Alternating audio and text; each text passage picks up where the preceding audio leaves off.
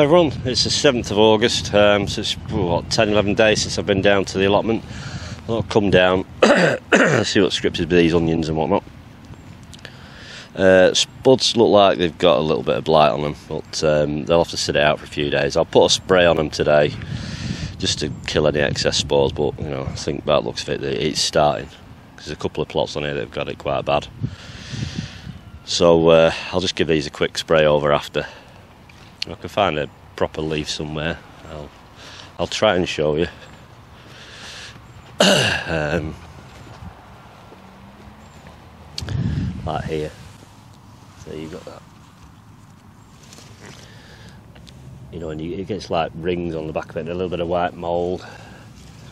I'll probably come down in about two or three days, get the tops off these.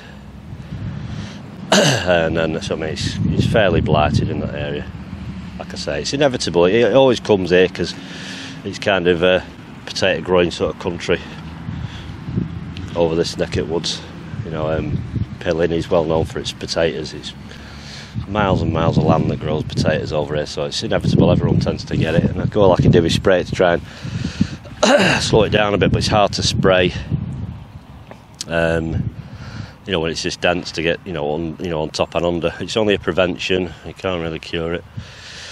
So that's another day to deal with. Um, we've got a few dry days, which helps. Um, I say it was supposed to be dry last night, but it's rained through the night, which I didn't really want it to do. So have a look, quick look round. So all, all the paths have uh, died back now. Um, Turk's turban. Um, a couple of pumpkins down there are a bit slow, but uh, a few squash on here. I think they've set. No mushy bottoms on them. They're about sort of grapefruit size, so I'll leave them be. Excuse me. Look down this end. I've not even looked myself, to be honest. Um, beans. I have to just uh, pull the top off that one up there. Encourage it to send some lower shoots out. There's probably a few more to pick on here. You know, that, few. Oh, finally, a ladybird. um, asparagus, just doing its thing really, it'll do its thing until it dies back. The peas, they're all looking a bit better and a bit more upright.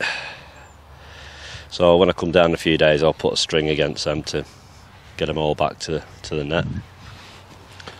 Uh, majority of my onions have now toppled, so they're coming out, and I can get them home and uh, cleaned up and start the drying process. But I can't really put them on the rack because I've still got my brassicas there, which will come out in a few days. So I'll just have to brave it sort of like on the patio for a few days. These um, courgettes are looking pretty big plants, and uh, oh, a few courgettes on them. Of a whopper one over there. Deal with that after.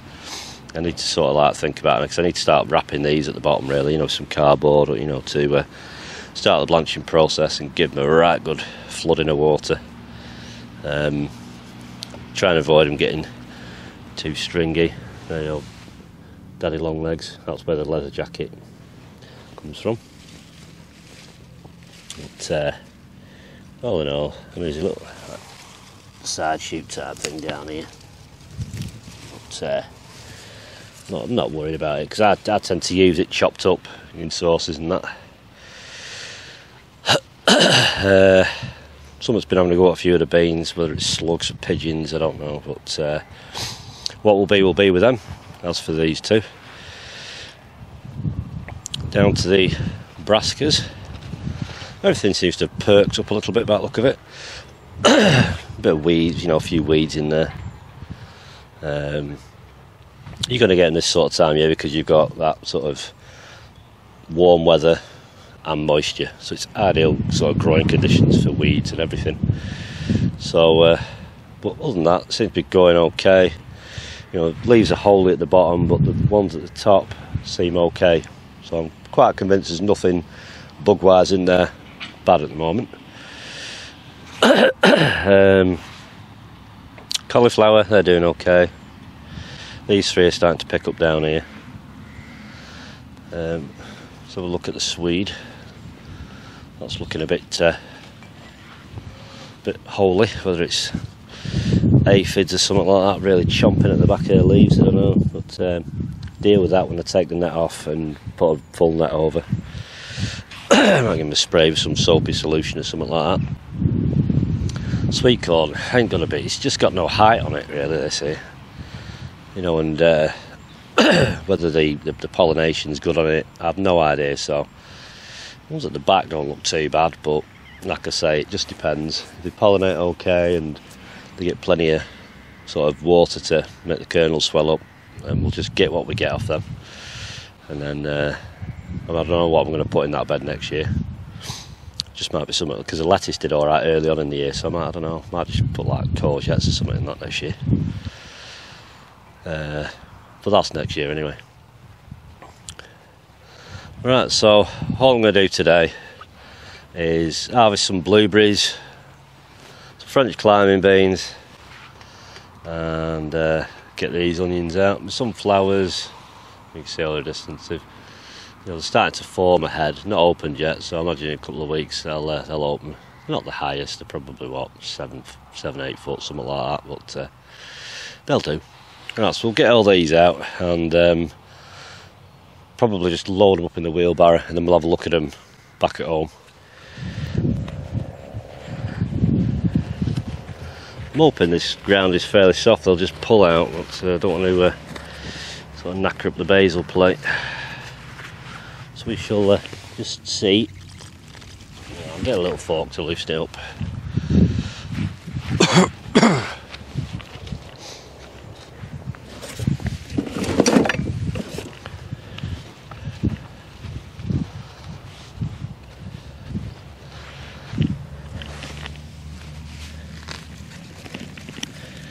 just in case of trying to get as, as much of the mud off you possibly can for now.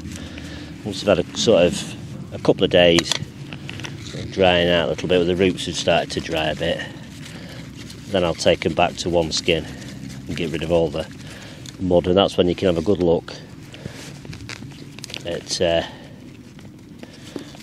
you know anything that's looking a bit like it's not going to store too well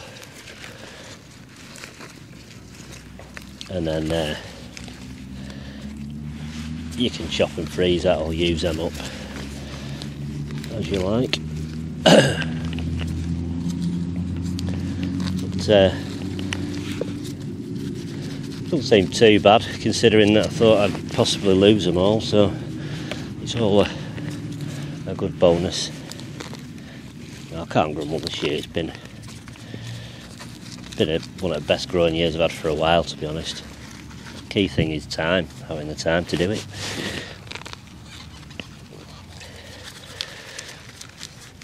You know, because uh, no work, no band or anything. That starts back up tomorrow, the band. But uh, we're actually minus a drummer now. So we're on the look lookout, but it's not worth looking at the moment really because uh, all the lockdown issues are still uh, sort of restricting any chance of a live performance. So we'll just have to see how it goes. I won't bore you with uh, lifting all these, so we'll have a bit of a look at them at the end, either here or at home. I was going to be splitting it, up I'll get rid of all that bad stuff and uh, get it back to a, a little onion. That's from when they start to get a skin on in the ground and all of a sudden they get a big gulp of water. So I'll just go along here and like force fold any next. and it's sort of stack them in such a way to try and get you know at an angle that's as much water comes out the neck as possible if you've got like a good few sunny days with a nice breeze that's uh, that's the best thing really Right, I shall carry on doing these.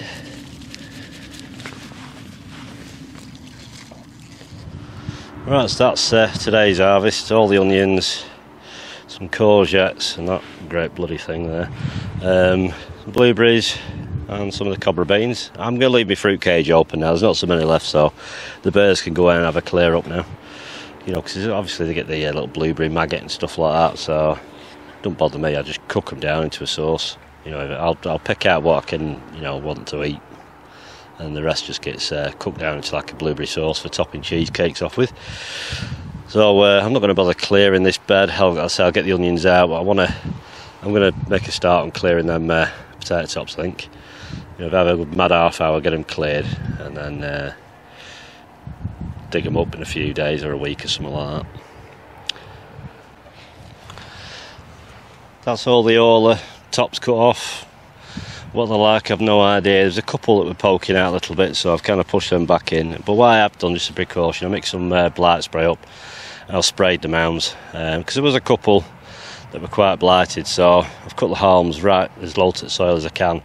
I thought I'll give it a good coat with blight spray just in case any spores sat on the soil, just to uh, try and eliminate them a little bit. But uh, I would have liked them to have a little bit longer, just the way it goes, you know. As you get as long as you can. There should, there'll be some under there, you know. Um, I just hope the slug leave them alone; they don't get holy or anything. But I'll try and get them up as soon as I can. But ideally, a few dry days to dry the soil out a bit, and then uh, I can come and come and dig them up. You know, probably take me about you know three quarters an hour to dig them two up, and then decide what I'm putting in this bed. You know, whether I'm just going to cover it with, with plastic sheet or you know, sort of scuff it about and put some sort of green manure on it. I've no idea yet. Um, so I'm going to haul all them onions into the wheelbarrow and get them over to the van and everything else and uh, get myself home. And we'll have a look at the onions uh, in a day or two. Right, it's the 9th of August now, so they've had a few days since I cut the tops off. I think it was the 6th, I think I cut the tops off. So, um, thought had a few days dry weather, so I'll dig them up because it's forecast like really bad rain for the next couple of days. So this is the Orla. Could have done with a bit longer, but I get what I get. I'm not too bad. I've had a bit of a rake out on the rest of the bed just to even it out a bit and um, kind of move the uh, the squash, the Turk's turban, to, to, kind of grow across the potato bed now a bit and just hold it up either side that, which you'll probably see at some point. So um, I've got as much sort of in in the shot as possible because I've forgotten my attachment for the tripod. So currently propped on a, a bit of cane that's slotted into the end of a rake, sort of balanced. So uh, not looking forward to digging because I hate digging, but uh, we get what we get. So uh, where do you start? Hopefully there'll be uh, something all right anyway.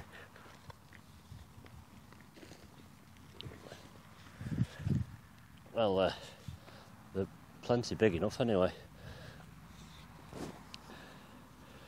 Well, if uh, they're all like that, I'll be uh, pretty damn chuffed. There's another one here.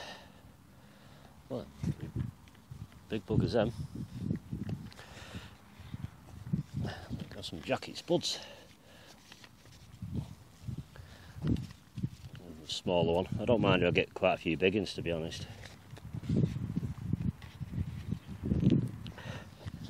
Trying to stab too many. A few small ones near the top, but another big one. It's had a bit of a split on that one.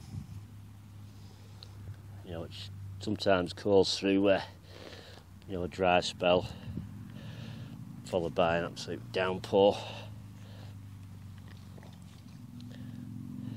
But uh, all is usually done all right. I mean, last year slugs got the better of them, so that's why I've decided to not leave them in for days and days and days and just get them out.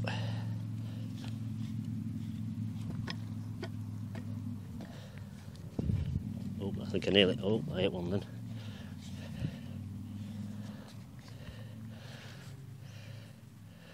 We're quite deep down these.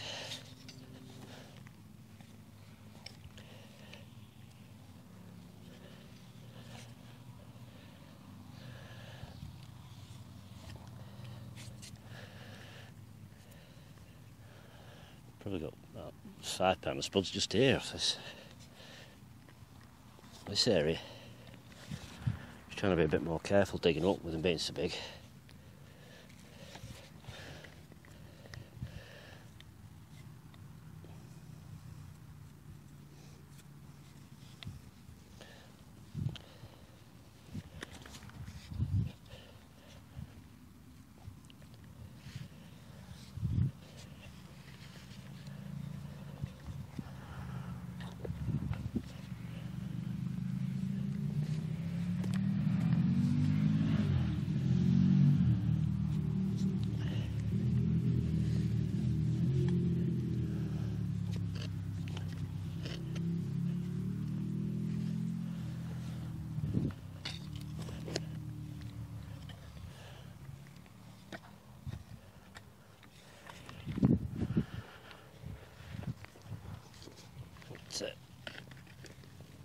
I can't grumble, it's been a good year, Spuds, to be honest.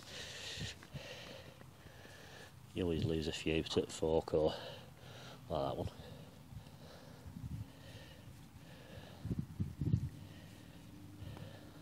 They're a good sized spud, these. I'll weigh them when I get home. Especially if they all end up like that.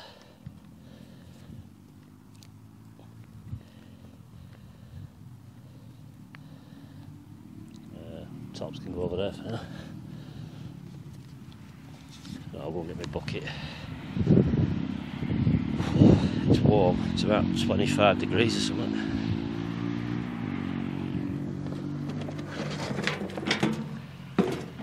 It's a little bit too hot for me digging, but uh, it's one of the jobs that's got to be done.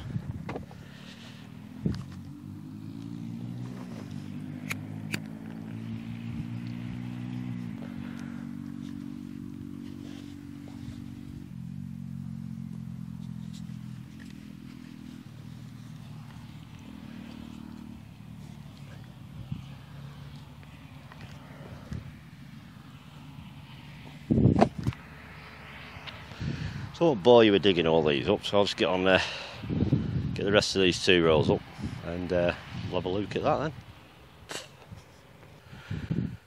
That's them two rolls dug up, so there's no more spuds to dig up, thank God. Uh, there's quite a few that have rotted a bit. You know, it's a, it's a shame because some of them are a decent size as well, you know, that that's got some real weird shaped ones as well. I mean, that, that's like one potato. It's kind of, it's gone in the middle. It's got that, you know, squishy uh, blight or something that's got into him. Uh, a weird looking thing there. a few little holes in him, um, which are slugs, you know. But uh, I can't grumble. They're still. I don't know how. I wouldn't like to say how much his weight wise there, but uh, uh, get them all. I might rinse them off here or rinse them off at home. I've got some beans to pick, uh, just a few. But um, so there's plenty along here. Got a real weird shape one somewhere. is it? Uh, yeah, this thing. Look at that for a weird shape thing. Looks like some sort of bath toy type thing as well. Little man, whatever. Um, but yeah, there's, there's plenty of, uh, you know, good size spuds. Little holes, we can see there. But uh, it's slugs you know, I've, I've picked a few open and it's just a little tiny black slug. You know, same as that slug also. When I go when I go through them, all these ones will get uh, chopped up, chipped and whatnot. So plenty of chips because all they make really good chips, which is why I like them. They're just a good all-rounder. Um, but I might seriously think about resting this bed for potatoes next year. I mean, because it's had spuds growing it now for what, eight, eight years. So I might, uh, might do a few first earlies and do something else with this bed next year. Don't know what yet. But uh, I might do broad beans. Not a fan, but found something for them. It's just something to rest the soil a bit for a season maybe. But like I said, I've said that before and I've ended up growing spuds again. So I don't know. I'll see what happens next year for that. But that's the Orla. So all that's left to uh, do a harvest on potato wise now is I've got a tub of Jazzies, my King Edwards and my Palmyras at home which are all in tubs which will be coming up uh, probably the next few weeks I should imagine You know, because blights at the King Edward's a bit at home, but nothing major. A little bit on the Palmyras as well, but nothing nothing too out of control at the minute, thank God. But we are due massive downpours and thunderstorms. Right, so I'll carry on and go and get this lot home, and I'll uh, I'll get these lot weighed, and then I'll put that in the description. Right, it's over a week since uh, I pulled up these uh, onions. So we've had nothing, we had thunderstorms, lightning, and all sorts. Loads of rain. It's been raining this morning, so I've just been coming out, peeling skins off a few, ready to, you know, get them ready for storing. They're just slowly drying out under here. Um, I put this black membrane on there just to give them a bit of shade because a few of the days it got really hot. So it just helps to uh, sort of protect them a little bit. So all it is, like I mean, you kind of just peel them back to a single clean skin. Um, so it's a bit patchy because I've just been like coming out when I've got a chance and just grabbing almost grab a tub.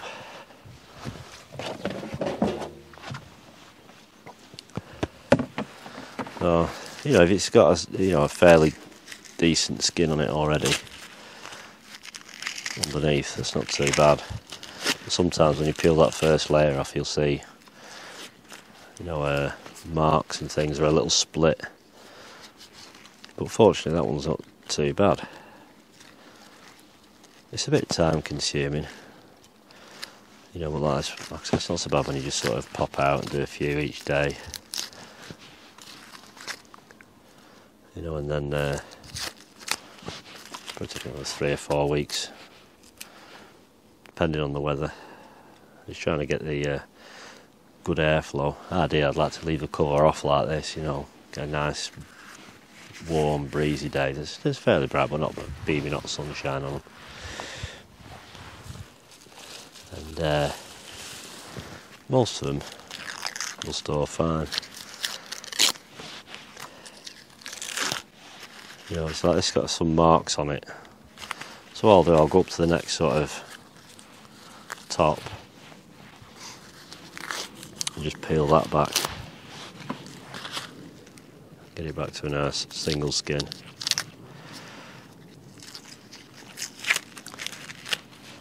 I've pulled my uh, Kelsea onions up. Um, kind of hung them upside down to get some water out of the net because they're really, really wet. And I've, I've, peeled them back to a clean skin. Um, they did have a, there's quite a few of them will probably not store for very long at all, so they'll just get chopped and froze. And it's just, just making sure, I mean, because they're quite chunky near the neck, just keep pressing it down a bit. Because you want it to try and dry really close to the actual onion. And then next stage, we once these are all turned to complete like paper, we trim the roots off, trim the top off, like yay, about you know a couple of inch, and then just string them from there. So I'll uh, cover these back over in a minute. I think it's going to pour it down pretty soon because the sky's very grey. so we'll have a look at the uh, Kelsea onions while we're at it. Maybe a quick look around the garden. Right, Kelsea onions are on this makeshift sort of shelter. I just basically put uh, a couple of canes um, rested on some bits of copper pipe that just kind of fit into the uh, concrete fence posts because they have these pre-drilled holes in. So put some copper there, a couple of canes going along. Um, I don't know how well you'll see them, but I'll try and pull, see if I can get one out. Try to. Bear with me a second. So that's uh, one there. They all sort of average about sort of three and three, four, well, three to four pound most of them. So not massive, but I don't know how many there's quite a few. There's going to be a lot of onion. You know, like I say, this this stuff will get chopped. Most of this, I mean, that won't store at all. You can see, oh, well, like you see like the bad marks on it there. But uh, the necks have dried out quite a bit. So just uh, somewhere to get them dried off. Right, I'll look at garlic because that's uh, not so far off ready now. Um, there's some of you remember out there had sent the um, garlic scape out So the necks are rock hard. So they'll get used up first. I'll reach right under here. You know, here's the garlic and uh, it's nearly, it's still got a bit of flex in it, but it's not so far off. You know, um, but I'll probably leave it a couple of weeks and then I'll uh, string them. Have a look around Rustic Garden. So courgettes, uh, a bit bleak really. But uh, they're still putting out courgettes, so until they stop, I'll, I'll keep them going. This is starting to uh, all sort of bolt now. Just had a lot of rain. I've not had a chance to get out and harvest some. I don't really need any because we've still got a load in the fridge. Um, been picking the uh, cobra beans. Absolutely plenty on them. I mean, uh, Jack's been nipping a few off the top as well, so I ain't going to worry about pinching off when they hit the top because uh, Jack's been doing that for me because he's currently uh, sat on fence post there at the minute.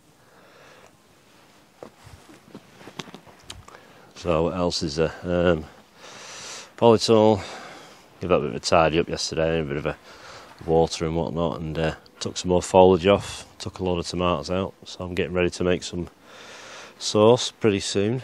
So I'll probably do a little video on that because people have asked, you know, about you know how I make the tomato sauce and stuff like that I use for cooking. So I might knock some of it together. Try and pick out some uh, manky carrots because them sweet candle, all the tips are rotten on them. I'll probably use them to be honest. Um, what else have I done? Got some uh, 12 litre pots there, and all I've done, I've stuck a, a really old, wrinkly, jazzy seed potato in each one, and I've just my own compost and just capped it with a little bit of manure and some grass clippings. And they're so, the so-called Christmas buds. It's a bit late, but um, they'll probably do something. If not, they'll produce small potatoes as long as they're clean. I can use them for seed potatoes next year. Uh, tender green. Yeah, they're alright. I wouldn't say they're like a French climb bean at all, really. They're just like a runner bean, but they're, they're alright, to be honest. Um, I don't know how you can make it out, but it's absolutely, you know, hanging in them. So I need to pick a load of them. Brussels sprouts probably do a topping a few of these because they're going to hit the top of the net. But there are plenty of sprouts on. You know, some of them are over an inch now, so I'll probably start taking some of them to be honest. Or uh, slugs are having a good go at the greens and the uh, little gems down the bottom end. Uh, cucumber house, since I took the shelf out, cucumbers have, like I thought they would, they sort of, apart from that one, that's just been riddled with white flying here. But cucumbers have come back to life and just grown. You know, it's just having that shelf here. Cut some peppers off, you know, because I've had uh, quite a few of the old bell peppers. Um, so I'll leave them to just do their, you know, thing. And the bullhorn ones, yeah, they've uh, they've been all right. I uh, can't see any mini cobs yet appearing on these, so it shouldn't be long. No, not because they're like nearly six foot high now. Then, uh, what else we got? Just turn the camera around a bit. The big carrots, which I've no idea how they're doing. Um, not got long now, and I'll probably pull them. Then we've got some more spuds down. I think I think they were Duke Yorks. Then I think I've just put two in. Um, look at the King Edwards in a minute because I've got blight. Uh, dwarf French beans, they're coming on alright. It's Mizuna, I need to start using that. Um, that lettuce is, is starting to go a bit over really, so I need to sort that out and uh, start using that. As with that mesure over there. Celery, I'll start taking some of that soon for making sauce with. It's not massive, but it's just a little gap filler. Um, I've put some other bits in, but pigeons have been pecking it. The rocket's starting to show. And then where the big onions were, I found some leeks that I had left over, so I've just shoved some leeks in over there for now. So I've got a big empty gap here with nothing to put in. So I've sold some more seeds. If they do alright, fine. If they don't, then I'll cover the ground up because um, I've had a good year veg-wise, to be honest, and uh, a rest would be nice. So I just want something just to tickle over till the season sort of comes to an end, and that that'll do me for this year. Right, on to these uh, King Eddies. Uh, there will be another reveal, um, but not in this video because I need to get these tops off because uh, well, you can tell, you know, lights here like that. For those of you not sure what black looks like, know why you can make that out, but that's that's your telltale sign of blight. So it's uh, it's here, you know, all all over these leaves as well, all down there. There'll be a few stems. It's been here for a week or two, but uh, so I've not I've not been spraying these for a bit. I did all I did. I went and uh, put a little bit of manure around the tops of the pots, just to try and protect the tubers a bit. So I don't know how well they're, they're going to be because they were really hard to water these this year. Um, but like I said, there'll be another reveal. So I've got plenty of spuds because I had 127 pound of Orla in the end. I got from the plot. And I thought, oh, probably you know, 60 pound maybe something like. that. I got back and I sorted through them all and I weighed them. and I thought, Christ, they've done all right. So I've had um, probably if I've, if included what I've, what I've thrown away, I've had over £300 of spuds from plot. And then I've got this lot to harvest here as well. So uh, that's about it, really, in the garden. Um, Sarpo Miras, um, I think they've got bits of dribs and drabs of blight, but they're, uh, they're not too bad. The actual tubs are starting to feel a bit lumpy now, so it's either you know, a, a, cluster of potatoes or there's going to be some big in there. I've no idea. But uh, I'll leave them be for a bit. Hello, we've got a visitor. So, I don't know where you can make out but behind me there. The sky's pretty grey. So I'm not going to be doing much today. I might go and pick some beans and that, but uh, it's a bit hard because this fella keeps uh, following me around and he's seen me uh, picking beans. So he just likes to help out and pick them and throw them about and rip them to pieces. So uh, that's it for this update. So the next one will there'll be potato reveals. So thanks for watching. Take care. I'll see you next time. Bye. Uh, can you uh, leave some beans for me? Don't need your help. Hmm? Come on.